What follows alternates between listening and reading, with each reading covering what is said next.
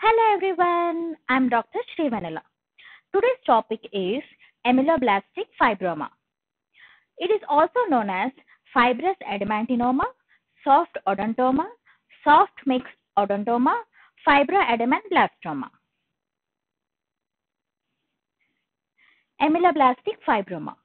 It is characterized by simultaneous proliferation of both epithelial and mesenchymal tissue without formation of enamel and dentin. If this tumor is left undisturbed, it will ultimately differentiate into a lesion known as ameloblastofibroadenoma.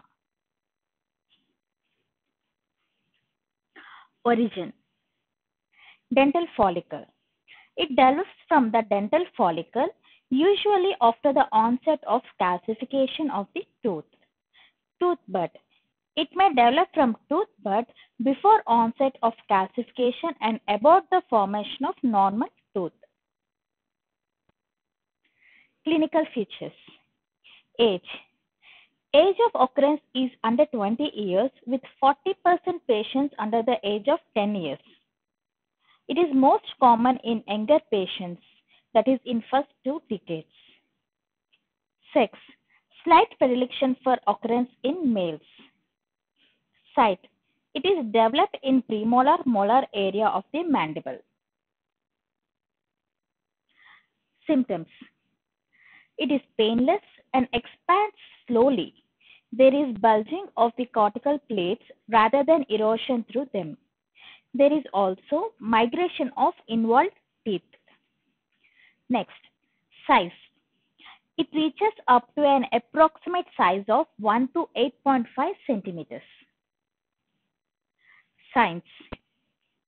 It enlarges by gradual expansion so that the periphery of bone often remains smooth. It is associated with unerupted teeth.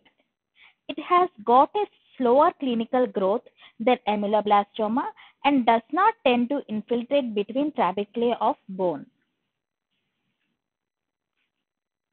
Histopathological features are as follows. Solid soft tissue mass with a smooth outer surface. A definite capsule may or may not be present. Cell-rich mesenchymal tissue resembling the primitive dental papilla admixed with proliferating odontogenic epithelium. The most common epithelial pattern consists of long, narrow cords of odontogenic epithelium, often in an anastomosing arrangement. These cords are usually only two cells in thickness and are composed of cuboidal or columnar cells. In the other pattern, the epithelial cells form small, discrete islands that resemble the follicular stage of the developing enamel organ. These show peripheral columnar cells which surround a mass of loosely arranged epithelial cells that resemble stellate reticulum. In contrast to the follicular type of ameloblastoma, these follicular islands in the ameloblastic fibroma seldom demonstrate microcyst formation. Radiographic features. It develops in premolar molar area of the mandible. In some cases, it may involve the ramus and extend forward to the premolar molar area. It may present with cyst-like area of bone destruction or there may be wide area of bone destruction. As it is usually associated with an impacted tooth, it appears as pericoronal radiolucency. It may be either unilocular or multilocular and is associated with unerupted or missing tooth. Margins are well defined, often with sclerotic borders. Buccal and lingual expansion of jaws with intact cortical plates can be seen. Teeth may be inhibited from normal eruption or may be displaced in an apical direction. Diagnosis Clinical diagnosis is not so specific. Radiological diagnosis. This is also not so specific, but sometimes CT scan may be helpful to diagnose the tumor. Laboratory diagnosis. Biopsy shows scattered islands of epithelial cell in a rosette, long finger-like strands, nests, and cords-like pattern. Cells resemble the primitive odontogenic epithelium. The mesenchymal component is made up of a primitive connective tissue. Differential diagnosis. First one, central giant cell granuloma. It has a honeycomb pattern and is usually seen in anterior location.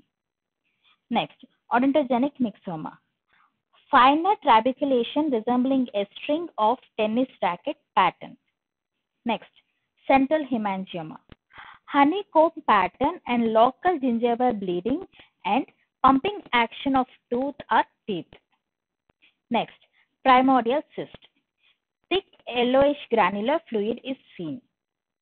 Next, ameloblastoma. It is associated with much older group. Next, management. Curettage can be done which has successful results in many cases, but there are chances of recurrence in this tumor. Surgical excision.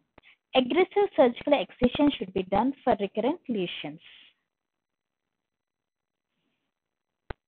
Thank you everyone. Hope you all like the video. Please like, share and subscribe.